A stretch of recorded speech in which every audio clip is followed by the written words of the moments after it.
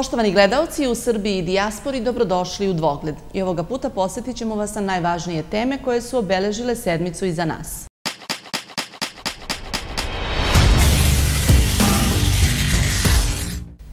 Dvogled započinjemo najavom jednog važnog događaja. Naime, autoput od Obrenovca do Čačka bit će pušten u saobraćaj 15. avgusta. To je najavila ministarka građevinarstva saobraćaja i infrastrukture Zorana Mihajlović koja je obišla radove na koridoru 11.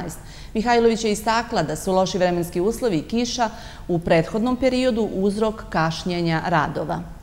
Iako je ranije najavljivano da će autoput od Obrenovca do Preljine biti pušten na Vidovdan, to se neće dogoditi.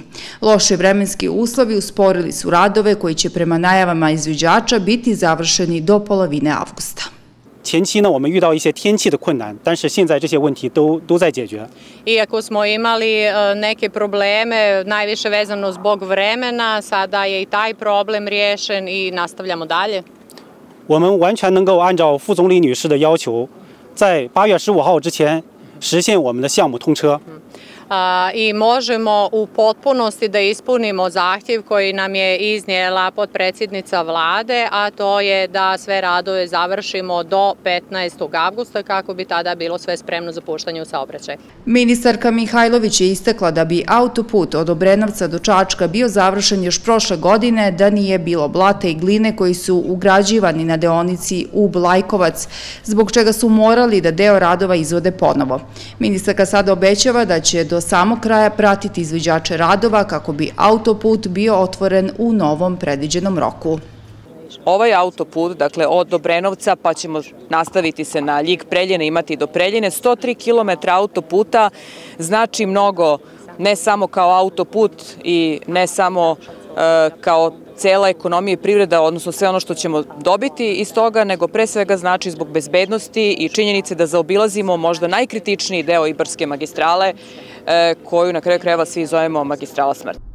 Vrednost radova na deonicama Obrenovac-Ub i Lajkovac-Ljik je 333,74 miliona dolara, a njihova ukupna dužina je 50,2 kilometra. Dužina deonice Ub-Lajkovac je 12,5 kilometara, a vrednost radova na sanaciji 2,5 kilometra na ovoj deonici je oko 10 miliona evra.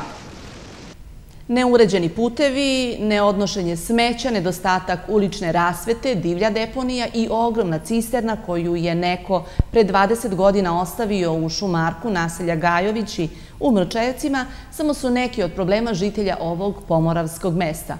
Za njima slede loša niskonaponska mreža i česti nestanci struje, problemi sa kanalizacijom i vodom. Naša ekipa je bila u Mrčajevcima, pa pogledajte šta su zabeležili. Zbog velikog broja stanovnika, naročito dece koje noću prolaze neosvetljenim ulicama, meštani ovog zaseoka zahtevaju da se pitanje rasvete što pre reši. Kažu da su svi ovi problemi protekli godina bili na listi prioritetnih radova u ovoj mesnoj zajednici.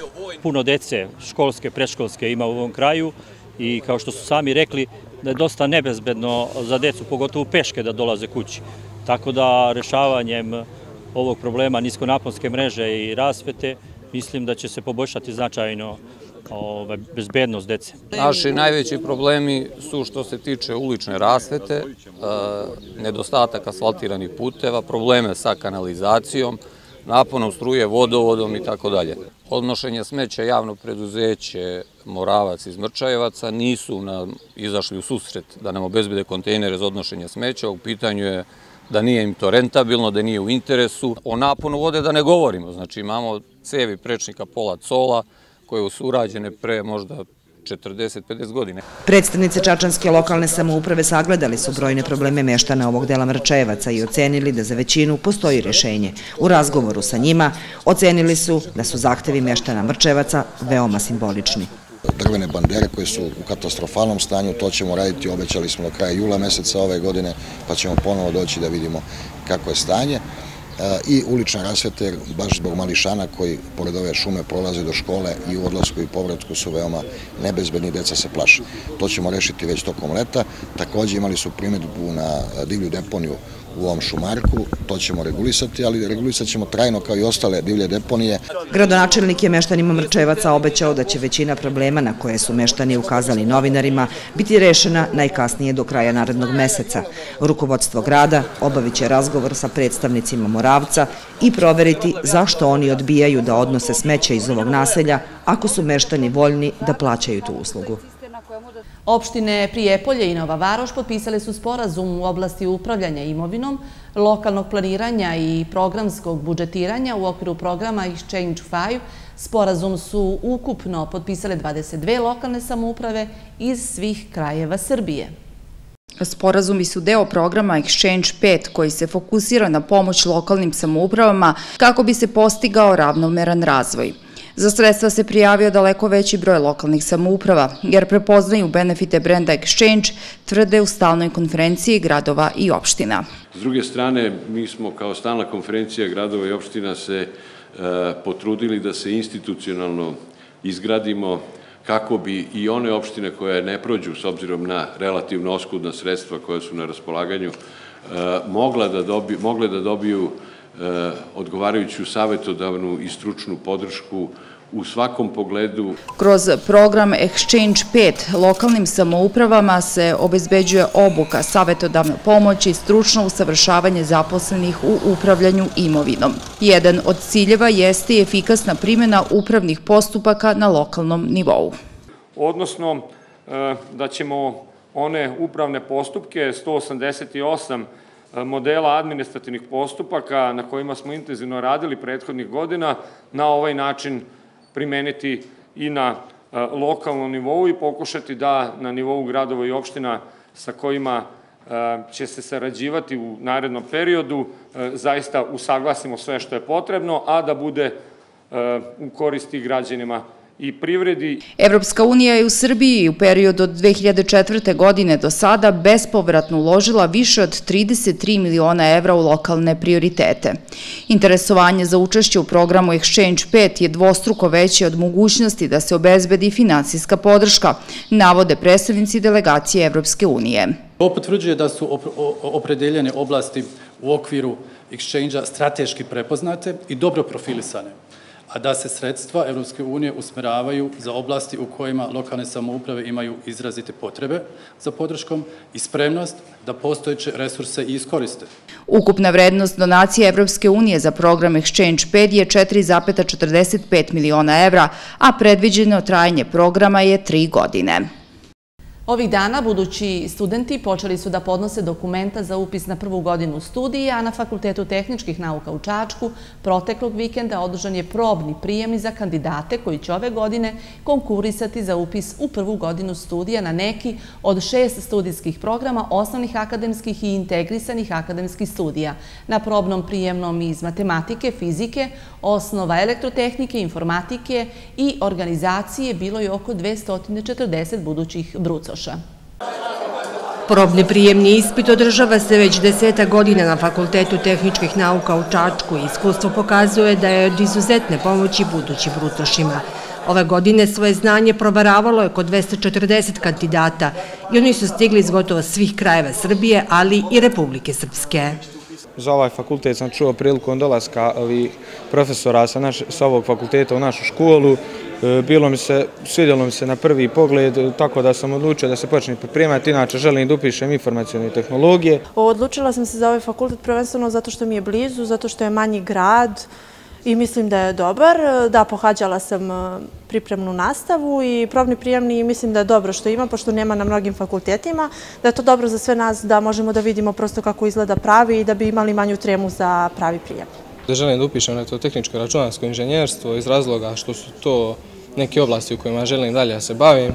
Što se tiče probne nastave, dolazio sam ovde, bio sam neki put isprečen, ali uglavnom sam dolazio, sve je to bilo izvanredno. Profesori su se zaista trudili da nam izađu maksimalno susret, da nam olakšaju rad i da bolje shvatimo te zadatke. Dobio sam zbirku zadataka, to intenzivno spremam. Kandidati se na probnom prijemnom upoznaju sa obimom i težinom zadataka i pitanja koje će dobiti na pravom prijemnom ispitu i dobar je pokazatelj koliko su se pripremili, a imaju i dovoljno vremena da ukoliko je potrebno dopune svoje znanja. Studenti, budući naši, prođu kroz kompletnu proceduru pravog prijemnog ispita i da kažem razbiju tremu koju normalno svi imaju kada dođu na taj važan dan kad treba da pokažu svoje znanje i steknu dovoljan broj bodova da bi upisali ono što žele.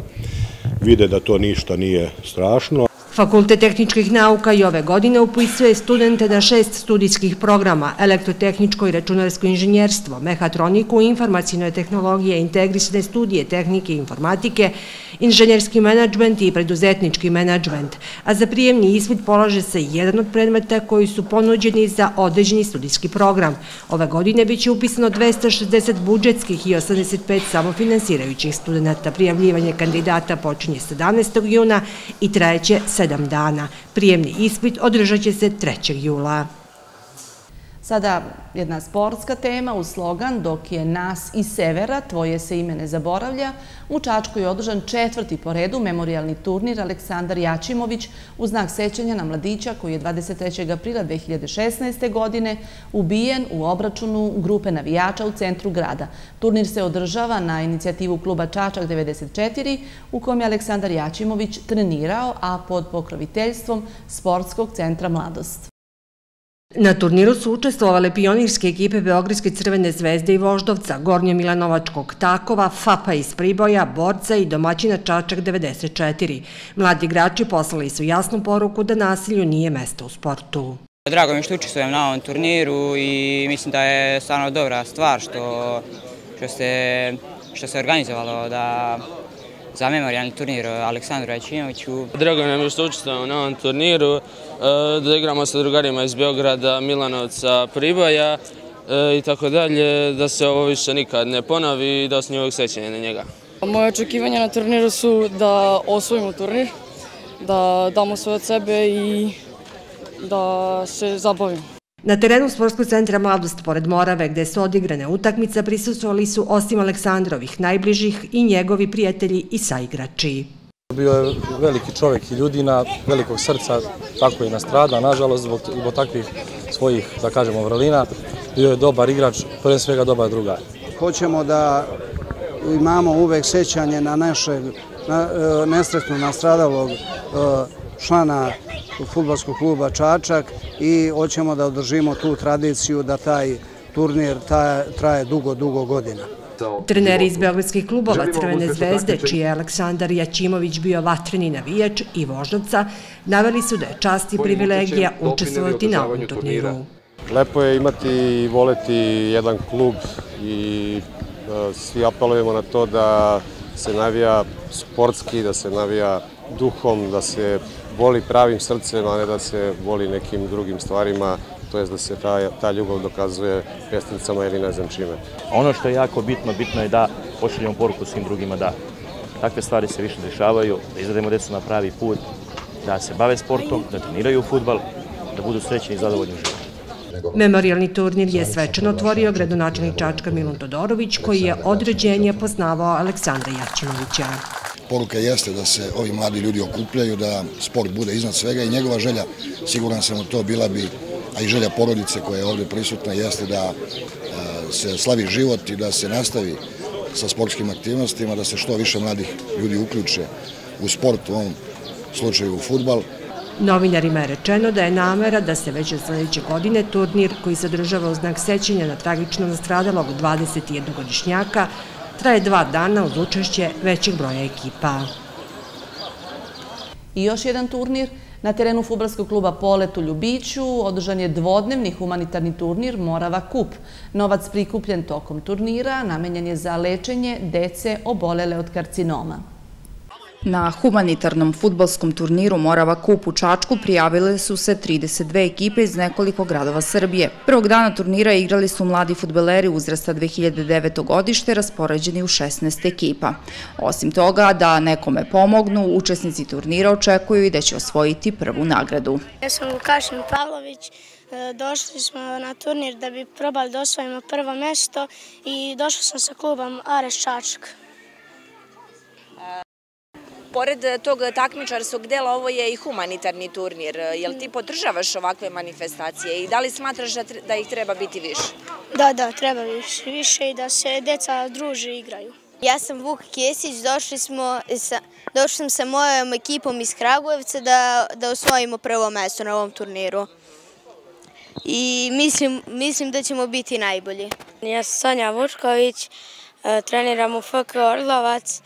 E, cilj je druženje i da pomognemo. Osim ekipa iz Kragujevca, Čačka i okoline, došle su i ekipe Crvene zvezde, sloge iz Bajne bašte. Kako kažu, rado se odazivaju pozivima za učešće na humanitarnim turnirima. Trudimo se da dolazimo ovaj, na sve turnire u regionu na koji nas pozovu. Ovaj, Uh, iskreno, ja sam danas recimo došao sa mlađom ekipom, došao sam s ekipom 2010 da igramo protiv 2009, samim tim smo i pokazali da nije bitan rezultat, nego da se družimo, da steknemo neka nova prijateljstva, da će neke ekipe doći i kod nas. Ekipe ne plaćaju kotizaciju za učešće na turniru, ali mogu da daju dobrovoljni novčani prilog i ubace u kutije postavljene pored terena.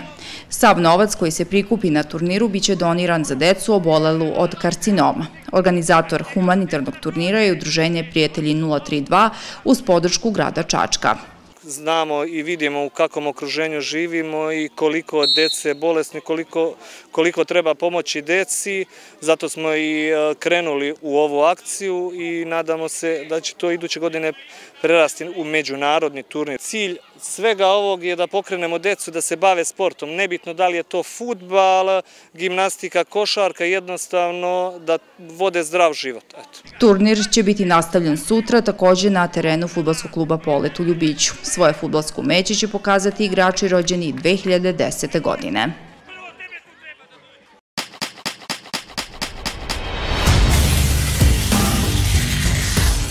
U međuopštinskoj organizaciji Slepih u Čačku predstavljen je prvi govorni softver na srpskom jeziku. Ovaj besplatan softver slepe i slabovide osobe za sada će koristiti na mobilnom telefonu, a u narednom periodu bit će omogućeno i na računarima. Sa korišćenjem različitih govornih programa, slepe i slabovide osobe upoznate su od ranije. Nerminko Šehović smatra da će uz pomoć novog programa na srpskom jeziku jednostavnije komunicirati prilikom obavljanja različitih poslova. To nama, e, slepim ljudima, veoma dosta znači. Jer praktično, jer praktično telefon bez e, govornog programa, to je za nas jedna ploča koja je bezvredna a sa govornim programom se pretvara u olož za što on zapravo i služi. Ministarstvo za rad, zapošljavanje, boračke i socijalna pitanja podržalo je projekat udruženja korisnika asistivnih tehnologija. Jednom rečiju moći ćemo da mnogo, mnogo kvalitetnije nego do sada dok smo koristili hrvatski glas, pa onda ranije češki glas, engleski glas, sada uz pomoć Fakulteta tehničkih nauka koji je usavršio ovu tehnologiju i firme Alfanum koja je izradila jedan ovakav softver, možemo e, kvalitetno da koristimo glas na svom srpskom jeziku i da adekvatno koristimo za sada mobilni telefon. Ovaj program će doneti dosta dobro slepim i slabovidim osobama, moći će da komuniciraju mnogo lakše nego da koriste neka druge tehnologije da imaće razuman program koji će pomoći da razumeju šta im skaže. Do sada imao neki program, koji, ali on nije nešto odgovarao našim slepim i slabovidim članovima. Predstavnici lokalne samuprave kažu da će u budućem periodu pomagati udruženje kroz različite vidove. Se tiče same ove zgrade, preuzeli smo dakle, njihov e, dug za grejanje prema javnom komunalnom preduzeću e, koji su imali prema našem e, grejanju. S druge strane, Ministarstvo za zapošljavanje boračke i socijalna pitanje će pomoći sa određenom iznosom za obnovu ove zgrade, tako da znači, sa svih aspekata i svih oblasti života trudimo se da, da im pomognemo.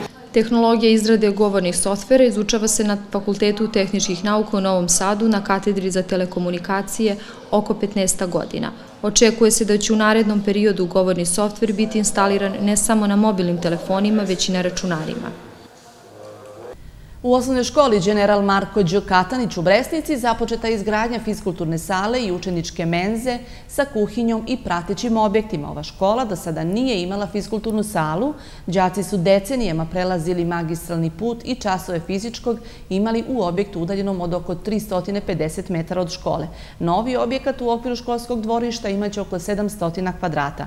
Obišli smo radove i podsjećamo vas i na taj prilog. Od naredne školske godine učenici osnovne škole General Marko Đ. Katanić časove fizičkog neće imati u zadužbini Generala Katanića, već u novoj fiskulturnoj sali. U sklopu sale gradi se i učenička kuhinja.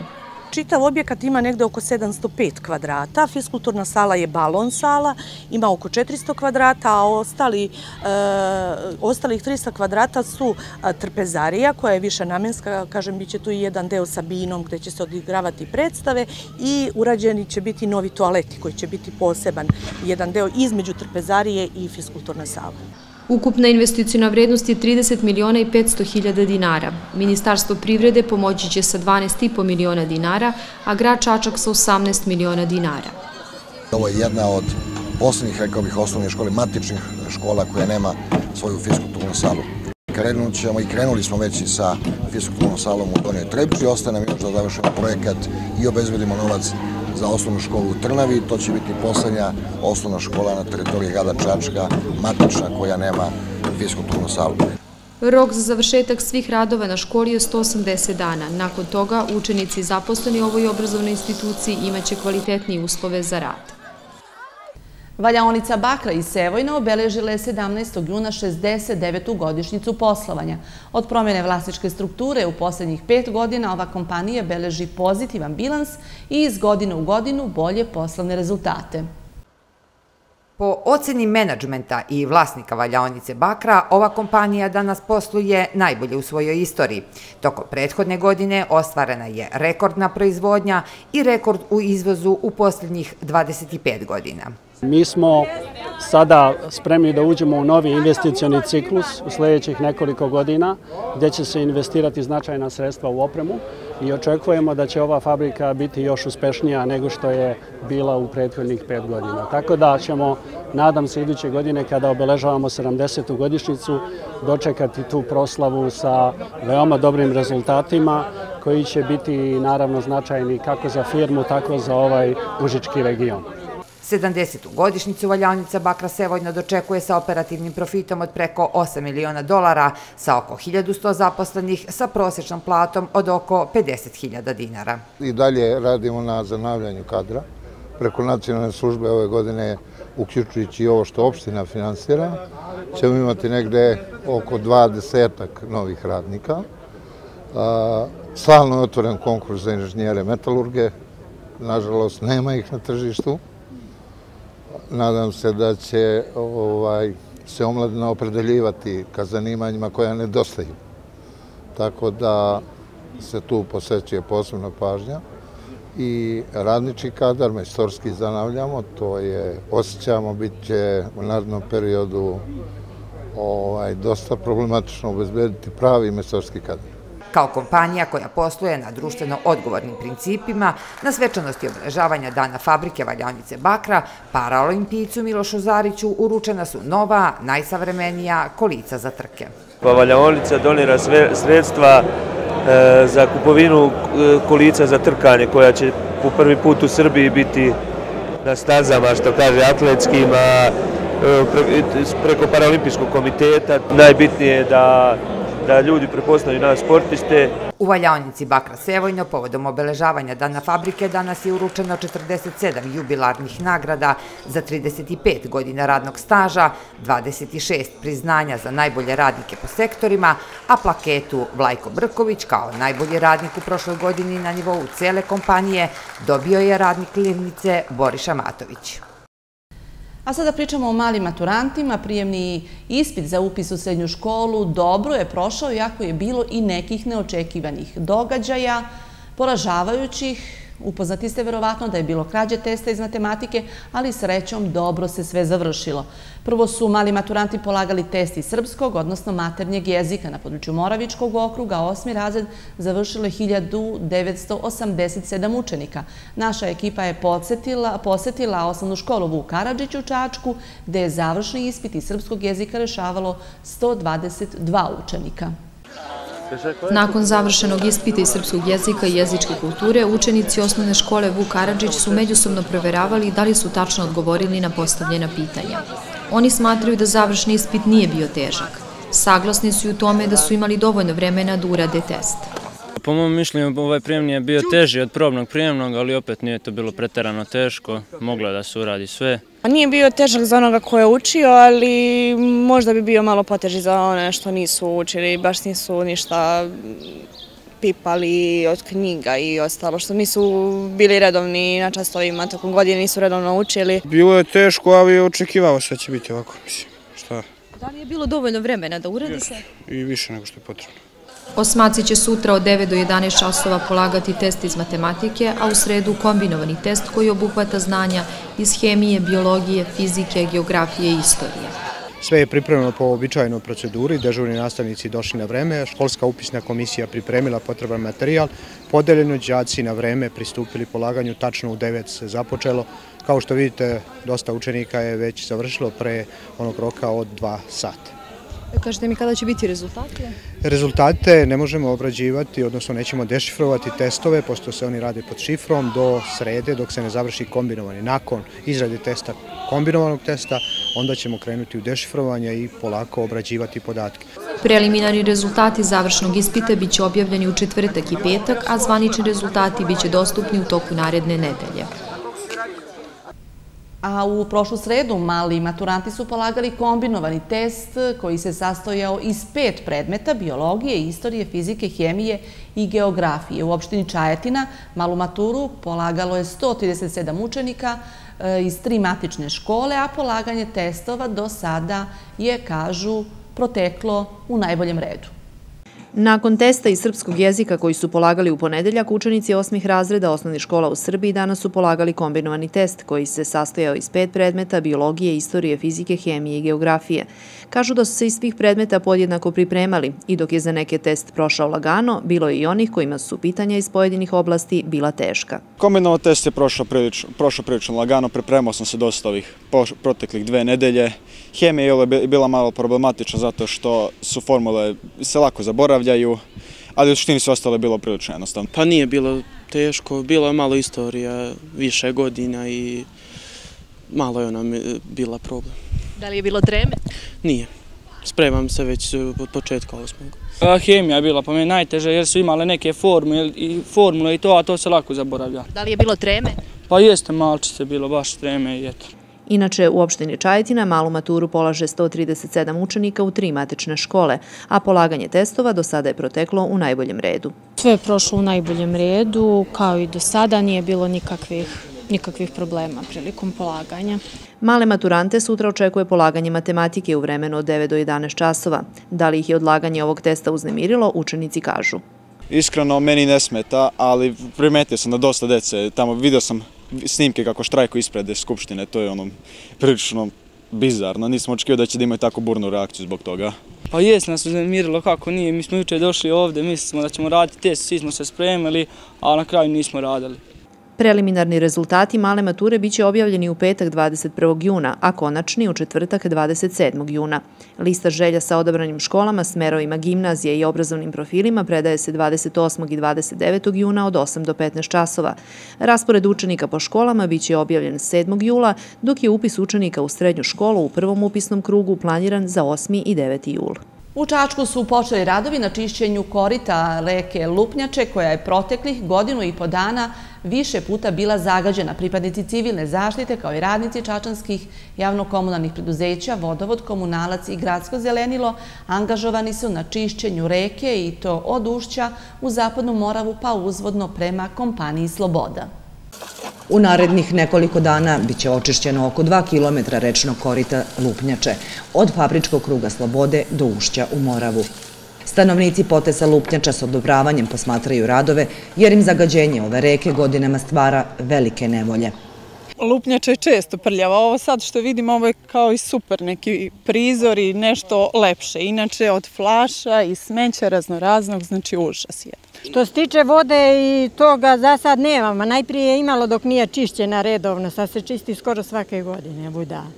Lupnjača se prvenstveno uređuje kako bi se podigao kvalitet vode na zapadnoj Moravi i kako bi startovala kupališna sezona na gradskoj plaži. Da li će se Čačani ovog leta kupati na Moravi, odnosno gradskoj plaži? Ja se nikad nisam kupala u životu na Moravi, ali vjerovatno ove godine hoću, zbog dece. Da, sigurno kao i svake godine do sada. i uvek nam je bilo prelepo i čisto i tako da sigurno i ove godine. Zagađena je, kukaju svi se zažale da je zagađena. Pa ove godine najverovatnije da hoću, ali sve zavisi od čistoće. Više volim da se kupam na brani u Moravi da se kupam nego na bazenu. Pripadnici civilne zaštite dobili su odobrenje da korito lupnjače očiste i u krugu slobode. Mi smo započeli dakle, radove, kao sami što vidite, nizvodno od slobode i nastavit ćemo uzvodno ka slobodi i u krugu slobode. Nadamo se da ćemo uspeti, nalog smo dobili da u roku od 3 do 4 dana završimo i iskreno nadamo se da ćemo te rokove i ispuniti. Međutim, veliki je problem ukoliko bude kiše i nevremena nekog, budući su najavili za danas i sutra po prognozi, to je jedino što će nam ometati radove. Ukoliko vremenski uslovi dozvole čišćenja i dezinfekcije, dezinfekcija rečnog korita lupnjače bi trebalo da budu završeni za 3 do 4 dana. Nakon toga sledi hemijska dezinfekcija i korita i vode.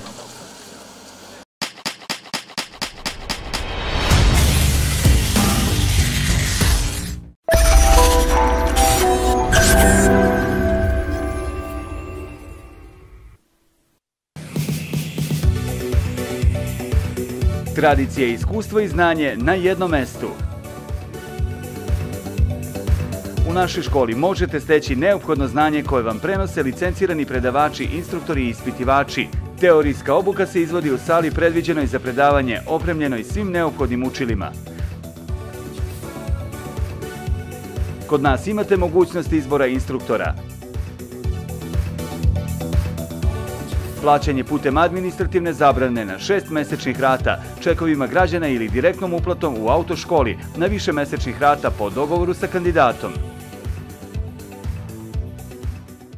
Dobrodošli u Pribojsku banju, čuveno lečilište još od vremena Rimljana Nemanjića pa sve do današnjeg modernog spa centra. Termalni izvori oligomineralnih voda temperature od 37 stepeni idealni su za lečenje svih vrsta oboljenja kostiju, mišića, nerava, kože i postoperativnih procesa. U ponudi Spy Wellness centra Grand Stroj je i najmoderniji VIP bazen sa hidromasažerima za vratne i krsne delove kičme, skočne zglobove, vodenim krevetom i trenažnim vodnim biciklom. Mesto gde sva čula uživaju. Spy Wellness centar Grand Stroj Pribojska banja. Velika akcija.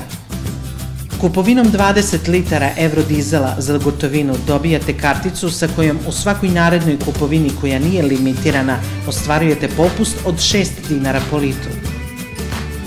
Dođite na Leonardo Pumpu po svoju karticu. Dobrodošli da složite kocku vaših problema, da poboljšate kvalitet življenja, izaberite put koji nema prepreka. Psihijatrija i psihoterapija, psihoart, Ristović Užice, već 20 godina sa vama. St. John's voda, od sada i u staklenoj ambalaži.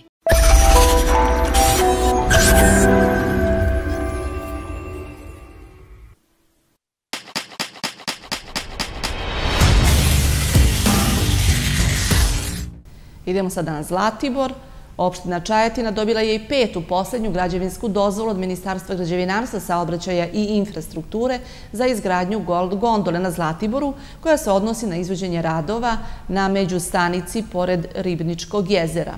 Ova faza podrazumeva izgradnju garaže za smeštaj kabina, prostor za pristup gondoli, pristupne rampe i nadkriveni plato, a predračunska vrednost tih radova procenjene na 250 miliona dinara. Prema rečima nadležnih, radovi će početi nakon dogovora sa firmom Pomagalski, čiji su predstavnici bili u Čajetini njihove posjete su učestale, obzirom da ugovor definiše i tehničku pomoć koju oni pružaju prilikom e, realizacije svake faze, ali je jako važno da istaknem da e, oni nas prate u potpunosti i e, upravo ovog puta ćemo razgovarati o početku radova na međustanici, ali isto tako kako ćemo da završimo e, deo napajanja e, električnom energijom, da se dogovorimo oko svih tekućih e, stvari na koje možda ili problema na koje nailaze izvođači, pa im je potrebna pomoć od proizvođača opreme.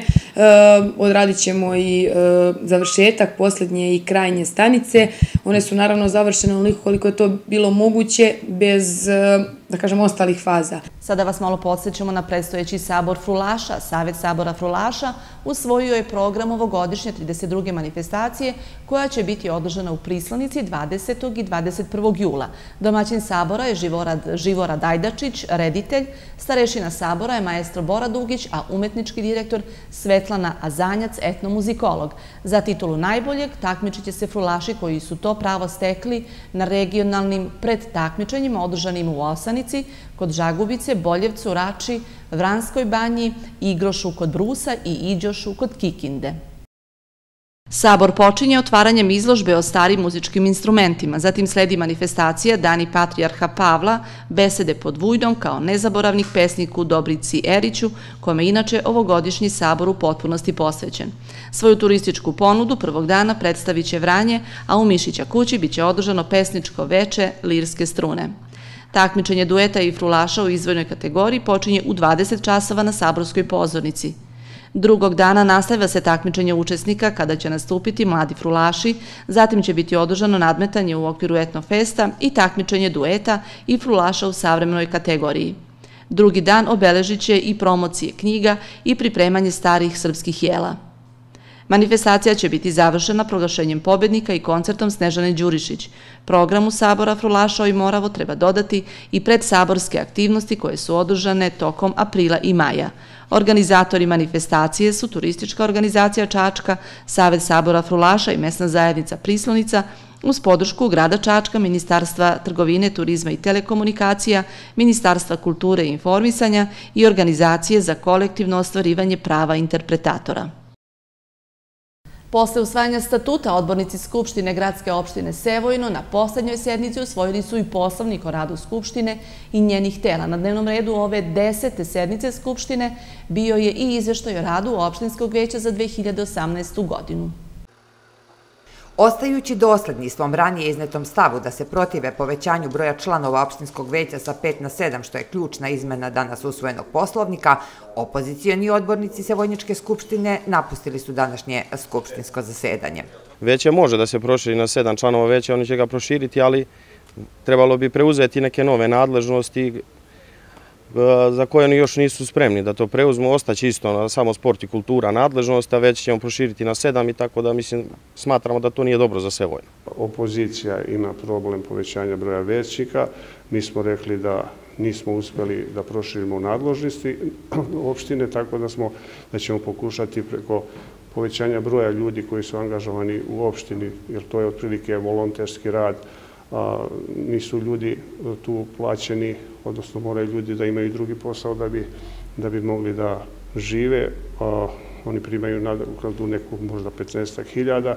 U izveštaju o radu opštinskog veća za prethodnu godinu, što je bila druga tačka dnevnog reda kojoj opozicija nije prisustvovala, između ostalog stoji da su u 2018. godini preko vlade Republike Srbije realizovani infrastrukturni radovi na području opštine u vrednosti od 54 miliona dinara i pored dogradnje vrtića i rekonstrukcije stare škole usmereni su pre svega na rekonstrukciju puteva i ulica. Što se tiče grada, odnosno građana, udruživanja građana, mi smo odradili preko udruživanja negde oko kilometar puta, asfaltiranje puta, to je grad izdvojio 3,5 miliona, a građani oko milion i pol. Također smo izvršili nasipanje i valjanje negde oko kilometar tog makadama. 500 kubika jalovine je podeljeno zainteresovanim građanima urađene su pozide u Rujevcu Pučijaševići, u braće Čolića, u ulici Milića Kosjerovića su urađene dve pozide i urađena je pozida u Gavrila Principa. Popravljen je most na Rujevcu, napravljen je mostić ovde na ovom crkvarskom potoku, kako je danas izneo predsjednik opštine Sevojno u 2019. godini ili za naredni investicioni ciklus, očekuje se da će opredeljena sredstva od vlade Republike Srbije biti oko 300 miliona dinara, od čega se najveći deo prema ranjim pregovorima sa vladom odnosi na rekonstrukciju glavnog cevovoda u Sevojnu. U cilju lakšeg i kvalitetnijeg utvrđivanja porezkih osnovica kod obračuna poreza na imovinu, u Čačku su predstavljene neke od odredaba porezke politike koje se odnose na lokalnu porezku administraciju. Nadležni ukazuju da je važno ažuriranje baze podataka porezkih obveznika uz kontinuiran monitoring. U projekat je uključen grad Čačak i opština Arilje, kako bi se sa različitim merama uticalo na jačanje kapaciteta lokalne porezke administracije. Jedan od ciljeva je isprovođenje principa koji se odnose na poredsku pravdu. Ideja projekta je bila da se sa ove dve opštine na neki način dokumentuju, da se pokrenu, da se odrede simulacije, da se pokušaju različite varijante kako bi se sa jedne strane povećali prihodi, sa druge strane kako bi se e, podržao razvoj pojedinih delova grada i e, takođe da se procene efekti, odnosno e, šta bi e, takva jedna politika imala kao utice na lokalnom nivou. Projekat traje šest meseci. Pored predstavnika lokalne samuprave uključeni su i privrednici i nevladin sektor. Privrednicima smeta to je nepredvidivost e, e, e, poreza na imovinu. Od godine do godine on može drastično da se promeni imali smo primere da porezka obaveza skoči nekoliko puta, čak i do deset puta. To svakako ometa privrednike zbog toga što ne mogu da planiraju E, cenu koštanja proizvoda i tako dalje. Zaključci do kojih su učesnici projekta došli odnose se na tačno i pravilno ažuriranje baze podataka poreznih obveznika, ali i utvrđivanje zakonodavnog okvira. Vozni park hitne pomoći Čačanskog doma zdravlja postao je bogatiji za novo sanitetsko vozilo. Vrednost ove investicije je 5,5 miliona dinara, a sredstva su obezbeđena iz budžeta grada Čačka. Vozilo će biti dostupno u svakom trenutku za pružanje hitne medicinske pomoći žiteljima ne samo gradskog, već i seoskog područja. Obnavljanje voznog parka Čačanskog doma zdravlja je neophodno s obzirom da svaki auto u svim službama godišnje pređe oko 800.000 km, rekao je direktor doma zdravlja. Služba hitne pomoći u svakom trenutku ima 12 spremnih vozila za odlazak na teren. Sa novim sanitetskim vozilom izlazak u susret građanima biće još efikasniji. Mi u našoj službi imamo savremene aparate, EKG aparate, defibrilatore i sve. Ovako vozilo kako mi dobijemo, dobijemo vozilo sa osnovnom opremom, a zatim nabavimo i svu opremu. Mi imamo nekoliko vozila, takozvanih reanimobila. Čačak značajnu pažnju posvećuje razvitku zdravstvene zaštite na čitavom području, gradskom i seoskom. Osim u vozni park, sredstva ulaže u medicinsku opremu, ali i objekte trudimo se da određene dakle, objekte koji su u funkciji, odnosno u nameni samog doma zdravlja u Čačku, kao što su i medicina, zdravlja, e, medicina rada i deši dispanzer, da uložemo u popravku onih dakle, delova koji su njima potrebni, da li je to sanacija krova, da li se radi o popravci trotora, to je dakle, sve jako bitno za funkcionisanje same zdravstvene uh, ustanove. Vodili smo računa kada se opredeljivalo vozilo i bit će vrlo korisna za naše E, stare sugrađane kojima je potrebna ponekad i hitna pomoć, a ponekad da se tu rade i elektivne pomoći, znači nešto što nije hitno da se preveze, ako je nepokretan, ako je samo e, staračko domaćinstvo. Predstavnici grada najavljuju kupovinu još dva vozila za dom zdravlja do kraja godine. Osim iz gradskog budžeta, sredstva će biti obezbeđena i kroz projekat kompanije NIS. Paraplegičari Nacionalne službe za zapošljavanje preko programa subvencija zarada za osobe sa invaliditetom kojim se omogućava dugoročnije rešavanje problema nezaposlenosti, odnosno zapošljavanje osoba sa invaliditetom na neodređeno vreme na području koje pokriva Nacionalna služba za zapošljavanje filijale Užice, do sada je zaposleno 16 lica. Korisnici ovog programa između ostalih su i članovi udruženja paraplegičara Zlatiborskog okruga. Ognjene Nikolić, član udruženja paraplegičara Zlatiborskog okruga, prvi put mogućnost za zaposlenje dobio je preko javnih radova, a onda učešćem u programima podrške zapošljavanju osobama sa invaliditetom, koje također sprovodi Nacionalna služba za zapošljavanje, dobio je mogućnosti za stalno zaposlenje u matičnom udruženju. Cilj pre svega jeste da e, osobama sa invaliditetom ovaj, e, da olakšamo pristup određenim informacijama, E, naše udruženje nije imalo, na primjer, e, e Facebook stranicu, pošto su e, opšte poznate da su danas e, društvene mreže jako bitne, pa sam napravio također Facebook stranicu, tu objavljujemo vesti, sve što se tiče našeg udruženja, nemamo ni web sajt, to je također isto u izradi. Ovaj, obavljam i administrativne poslove, Pored programa subvencije zarada za zapošljavanje osobama sa invaliditetom bez radnog iskustva, Udruženje paraplegičara Zlatiborskog okruga i Ognjene Nikolić korisnici su i druga dva programa podrške zapošljavanju osobama sa invaliditetom koji sprovodi Nacionalna služba za zapošljavanje. Tu je program refundacije troškova prilagođavanja radnom mestu gde smo e, kroz program omogućili tehničko-tehnološko prilagođavanje radnog mesta za Ognjena, dakle kupovinom jedne specijalne stolice, odnosno računara, na neki način omogućili da Ognjeno obavlja lakše i efikasnije sve vrste radnih zadataka. I trećeg programa, to je program refundacije troškova zarade licu koje je angažovano na pružanju stručne pomoći Ognjenu, dakle Ognjenovom mentoru. Udruženje paraplegičara koje okuplja osobe sa povređenom kičmenom moždinom osnovano je s ciljem da svojim članovima pruži podršku i pomoć u rešavanju njihovih potreba i problema na svim nivoima, pri čemu je pitanje zaposlenja jedno od najprioritetnijih. Programi i mere koje Nacionalna služba za zapošljavanje realizuje, a koji su namenjeni osobama sa invaliditetom i poslodavcima, u velikoj meri su povećali mogućnost zapošljavanja osoba sa invaliditetom. Imajući u vidu veliku zainteresovanost osoba sa invaliditetom za programe koji utiču na podizanje radnih veština i kompetencija, ove godine biće sprovedena i obuka za grafički dizajn za šest osoba sa invaliditetom sa područja koje pokriva Nacionalna služba za zapošljavanje filijale Užice. U Narodnom muzeju u Čačku počela je radionica makramea. Polaznici imaju priliku da nauče tehniku, odnosno umetnost vezivanja čvorova, zahvaljujući kojoj se mogu izraditi razni korisni predmeti. Radionica će trajati do 27. jula. Ana Tutunović je jedna od polaznica radionice makramea. Bavi se izradom suvenira i smatra da će joj veštine makrame pomoći da upotpuni proizvodnju kojem se bavi. Inače se bavim izradom suvenira, tako da sam došla na ovaj, ovu radionicu da upotpunim ovaj, taj moj rad još nekom veštinom. E, imam radionicu za izradu suvenira Nam Nam Suvenir Čačak, tako da, eto, to mi je sad dobra prilika da nešto naučim i da upotpunim taj svoj rad. Umetnost, odnosno veštinu vezivanja čvorova, može savladati svako ko ima volje i strpljenja. Ovom tehnikom mogu se napraviti najrazličitiji predmeti, počev od nakita i torbi, preko zavesa i prekrivača, pa sve do zidnih ukrasa i držača za saksije. Radi se svim mogućim materijalima, počev od najobičnije kudeljne niti, pa do svilenih niti i čak srme.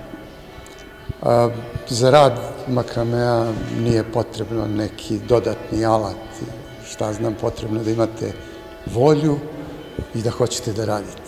Tehnika vezivanja čvorova ili makrame je jedna od najstarijih tehnika ručnog rada. Starija čak i od pletenja i tkanja. Zastupljena je u celom svetu, a najviše u Evropi i na Balkanu. Mi ovdje u Narodnom muzeju već treću godinu zaredom organizujemo radionicu e, makramea, odnosno umetničkog vezivanja čvorova. Naš predavač je diplomirani dizajner Vladimir Radulović, koji svake godine u saradnji sa muzejem potpuno besplatno drži ovu školu. Tako da ova škola je namenjena svim našim sugrađanima, svim onima koji žele da nauče nešto, možda što nisu do sada znali. Za razliku od prošle godine, kada su polaznici radionice bili školskog uzrasta, ovog leta su vrata muzeja otvorena svima. Predviđeno je da radionica traje do 27. juna. Nakon toga, u oči Vidovdana, bit će postavljena izložba radova ovogodišnjih polaznika škole Makramea. I ovom lepom pričom završavamo današnje izdanje Dvogleda. Vidjet ćemo se ponovo u isto vreme i na istom mestu za sedam dana.